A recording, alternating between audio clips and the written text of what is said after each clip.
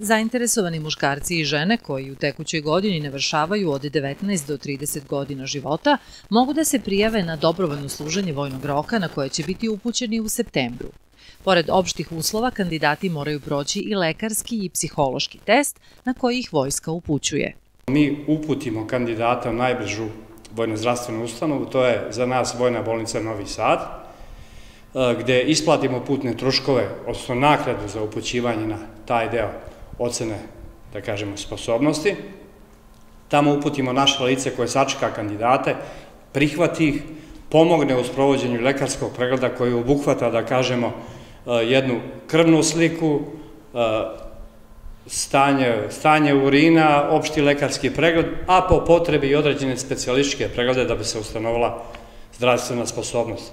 Kad se ispune ti uslovi, znači kandidat potpisuje ugovor sa centrom Ministarstva odbrane, e, koji obuhvata prava i obaveze, međusobne prava i obaveze, tako da bi vojnik mogao da bude upućen na dobrovno služenje vojnog roka i ugovorom se definiše i samo trajanje vojnog roka. Oglas za prijavu kandidata za dobrovoljno služenje vojnog roka stalno je otvoren, te se zainteresovani kandidati mogu prijaviti u svakom momentu.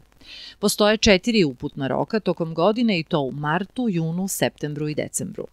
Služenje vojnog roka traje šest meseci i realizuje se u centrima za osnovnu obuku meseci po dana. Nakon toga, meseci po dana kandidati se upućuju na specijalističku obuku, a poslednja tri meseca u jedinicama Vojske Srbije sprovodi se kolektivna obuka.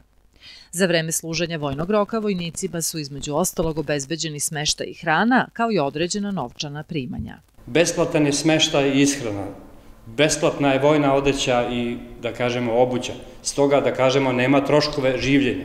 Mimo toga ima i određenu mesečnu naknadu koja je propisana, propisuje ministar odbrane i ona se kreće od 12.000 početna, da kažemo, može biti do 30.000 u zadnjem, da kažem, mesecu dobrovoljnog služenja vojnog roka. Osim toga ima i zdravstveno obezbeđenje koje je definisano za za vojne obveznike i može da koristi redovno u trajanju 10 dana ovaj, u toku, u toku služenja vojnog roka.